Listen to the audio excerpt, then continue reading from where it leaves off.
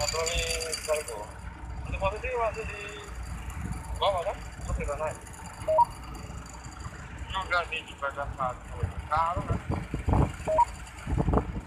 Wih, enam. ya nanti kalau pas turun yang turun dari Gunung Medan. Kita masuk di pos Gunung Medan yang ambil lima ya.